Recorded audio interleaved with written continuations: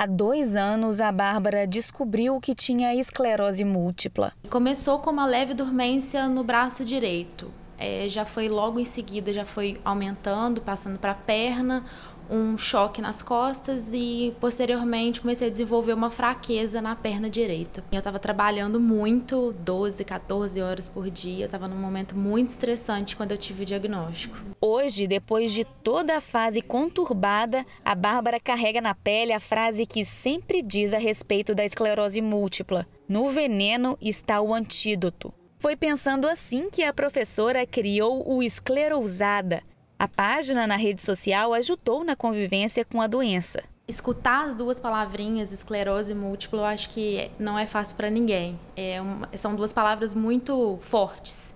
Com seis meses, mais ou menos, eu aceitei a doença e foi quando eu tive coragem de contar para as pessoas. Nem minha família sabia, só meu esposo. E aí nasceu o projeto Esclerosada, que começou como um diário onde eu conto a minha vida, onde eu conto como eu vivo, eu costumo dizer como eu vivo além do meu diagnóstico, porque existe vida depois do diagnóstico de esclerose e ela pode e deve ser muito melhor do que antes. Fatores genéticos e alterações ambientais são gatilhos que podem desencadear a doença. A esclerose múltipla ela é uma doença autoimune, né, uma reação do próprio organismo, cujo alvo é o sistema nervoso especificamente o cérebro, então a medula espinhal e os nervos ópticos. E esse sistema nervoso vai sofrer, então, de surtos inflamatórios, de inflamações que vão é, gerar alguns sintomas nesses pacientes de acordo com o local onde houve a inflamação dentro do sistema nervoso. A maioria dos pacientes acometidos por esta doença são pacientes jovens,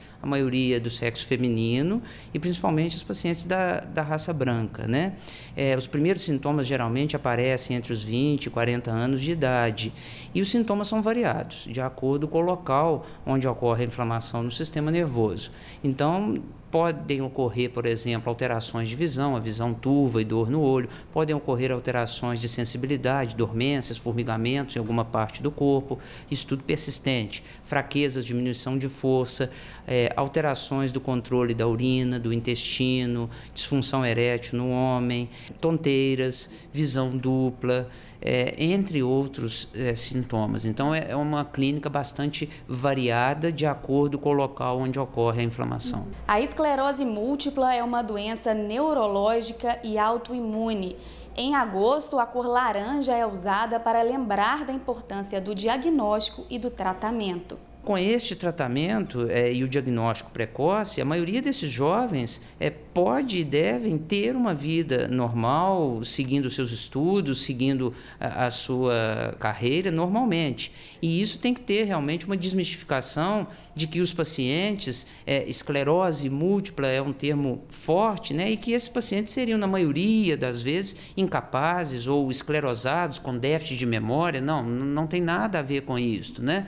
É, é uma doença doença que, é, se diagnosticada e tratada precocemente, é, com os medicamentos adequados, o paciente consegue manter uma qualidade de vida muito próximo do normal.